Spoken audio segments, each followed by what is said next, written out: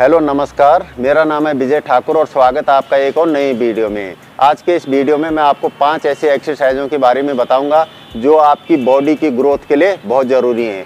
अगर ये पाँच एक्सरसाइज आपके वर्कआउट रूटीन से मिसिंग है तो आप कभी भी बॉडी का साइज़ नहीं बढ़ा पाएँगे। क्योंकि इन पाँच एक्सरसाइजों से आपकी बॉडी का साइज़ तो बढ़ता ही है साथ में आपका टेस्टोस्टेरोन का लेवल भी बहुत तेज़ी से बूस्ट होता है। ये पाँचों एक्सरसाइज आपकी मल्टीपल मसल्स को एक साथ टारगेट करके आपकी बॉडी को एक डिसेंट लुक देते हैं। तो अगर आपको भी अपना स्टेमिना बढ़ानी है स्ट्रेंथ बढ़ानी है, शरीर में टेस्टोस्टेरोन का लेवल बढ़ाना है, आप चाहते हैं कि आपकी मसल ज़्यादा से ज़्यादा ग्रो हो तो आप इस वीडियो को पूरा देखकर फ़ायदा उठा सकते हैं। हमारी जो पहली एक्सरसाइज है, वो है बारबल बेंच प्रेस चेस्ट का साइज़ बढ़ाने के लिए, शरीर की स्ट्रेंथ बढ़ाने के लिए।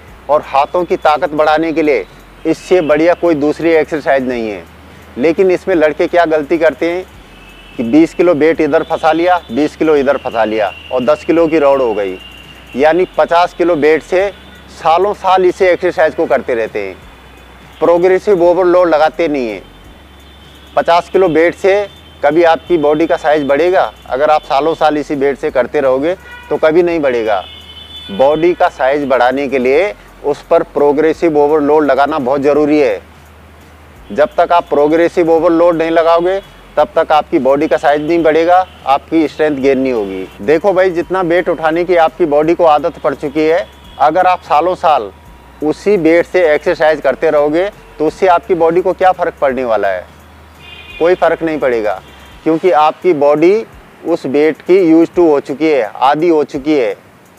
तो इसीलिए अगर आपको बॉडी का साइज़ बढ़ाना है मसल्स का साइज़ बढ़ाना है तो प्रोग्रेसिव ओवरलोड लगाना बहुत ज़रूरी है। जिस दिन भी आपका चेस्ट डे होता है, जब भी आप बारबल बेंच प्रेस को करते हो तो उसमें कुछ ना कुछ आपको वेट इंक्रीज ज़रूर करना है। कोई ज़रूरी नहीं है कि आपको पहले हफ़्ते में 10 किलो इंक्रीज करना है। पहले हफ़्ते में आप एक किलो इंक्रीज करें, इस तरीके से धीरे धीरे दूसरे हफ़्ते में डेढ़ किलो करें। कभी रेपुटेशन को इंक्रीज करें, कभी वेट को इंक्रीज करें।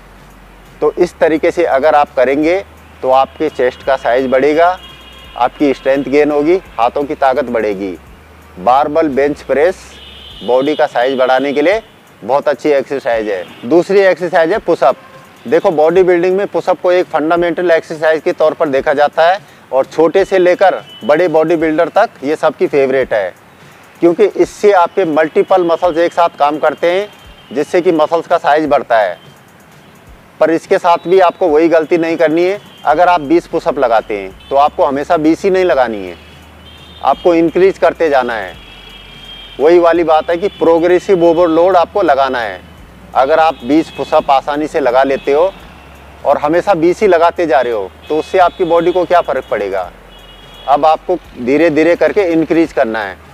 आज आप 20 लगा रहे हो, फिर 25 करें, फिर 30 करें, लड़के डेढ़ डेढ़ सौ पुशअप तक पहुँच जाते हैं। और आप अभी 20 पुशअप पर ही अटके हुए हो। तो बॉडी का साइज़ बढ़ाने के लिए स्ट्रेंथ गेन करने के लिए, पूरी बॉडी को सही शेप देने के लिए, सही आकार देने के लिए, पुशअप एक बेहतरीन एक्सरसाइज है, अगर आप इसको सही तरीके से करो तो। तीसरी एक्सरसाइज है डेड लिफ्ट अब काफ़ी लड़के डेड लिफ्ट का नाम सुनकर घबरा जाते हैं। वो इस एक्सरसाइज को करते नहीं हैं। देखो भाई, ऐसा नहीं करना है। डेड लिफ्ट एक्सरसाइज आपको ज़रूर करनी है।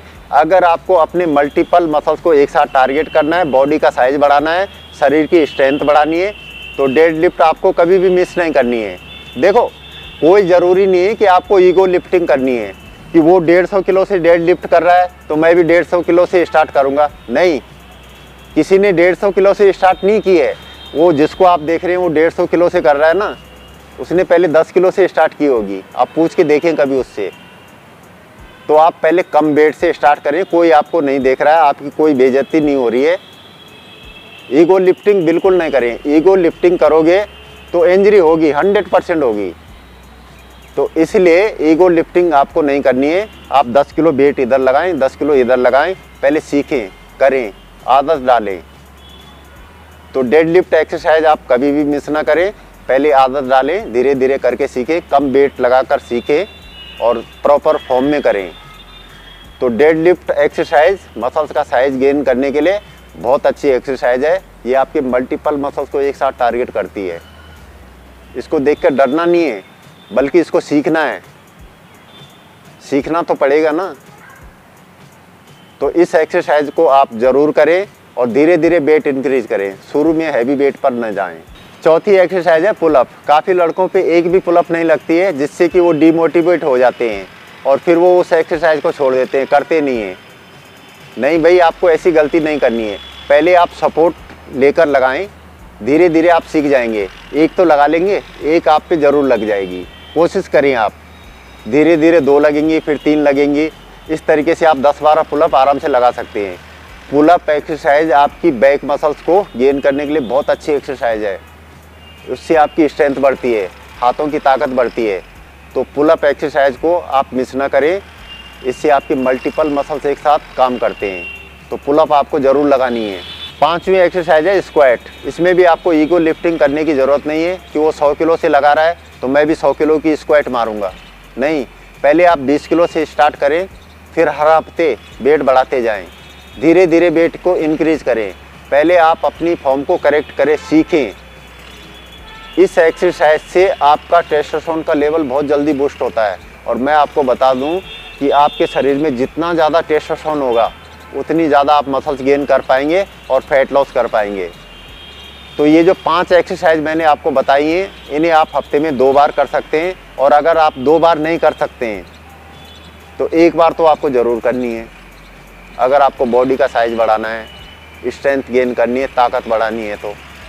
तो दोस्तों, ये था एक छोटा सा वीडियो।